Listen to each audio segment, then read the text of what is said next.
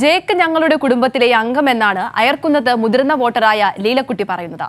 Jake ജയിക്കേട്ടൻ ജയിക്കുമെന്ന് പത്താം ക്ലാസ്സുകാരിയായി നിവേദിതയും ഇടതു സ്ഥാനാർത്ഥി ജേക്സി തോമസിന്റെ അയർക്കുന്നത്ത് വാഹന പര്യടനത്തിന് സുജുറ്റി ബാബു തയ്യാറാക്കിയ റിപ്പോർട്ട് കാണാം കൊച്ചുകുട്ടികൾ മുതൽ പ്രായമുള്ളവർ വരെ ജെക്സി തോമസിനെ കാത്തിരിക്കുകയാണ് ജയിക്കിനെ സ്വീകരിക്കാൻ നിൽക്കുമായിരിക്കും ജയിക്കിനെ സ്വീകരിക്കാൻ നിൽക്കുക.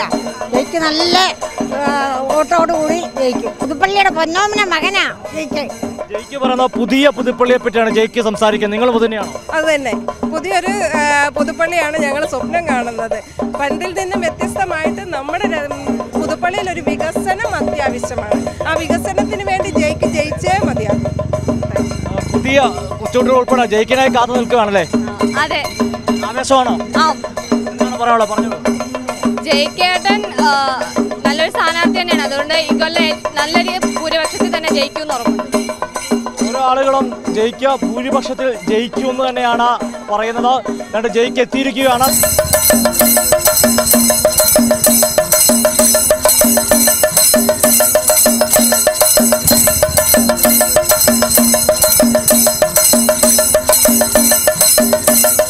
നമ്മൾ വോട്ടർമാരുടെ പുതിയ പുതിയപ്പള്ളിയെ പറ്റി സംസാരിക്കുമായിരുന്നു ജയിക്കിനോടും അത് തന്നെ ചോദിക്കാം.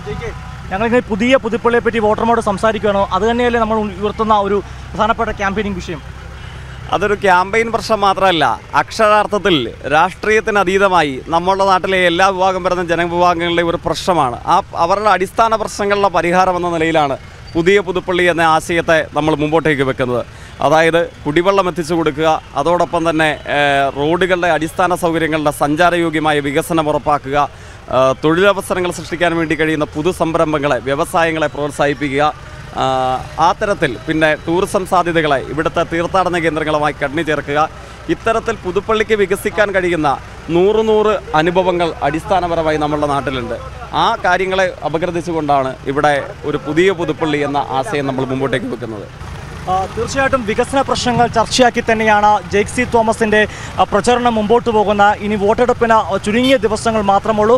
പരമാവധി വോട്ടർമാരെ നേരിൽ കണ്ട വോട്ട് അഭ്യർത്ഥിക്കാനാണ് ഇടതുമുന്നണി സ്ഥാനാർത്ഥി ജെയ്ക്സി തോമസിന്റെ ലക്ഷ്യം. ക്യാമറമാൻ അഖിലേശ്വരോടൊപ്പം സുജിറ്റി ബാബു കൈരളി ന്യൂസ്.